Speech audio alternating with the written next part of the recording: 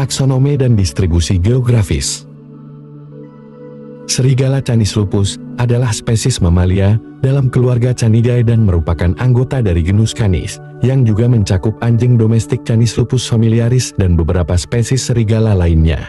Mereka memiliki distribusi yang luas, ditemukan di berbagai habitat, mulai dari tundra Arktik hingga hutan hujan tropis.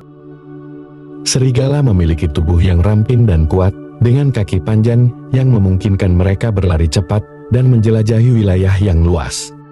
Bulu mereka biasanya berwarna abu-abu atau coklat, tetapi dapat bervariasi tergantung pada subspesies dan habitatnya. Adaptasi fisik lainnya termasuk telinga yang tegap dan tajam, serta gigi yang kuat untuk menangkap dan mengunyah mangsa.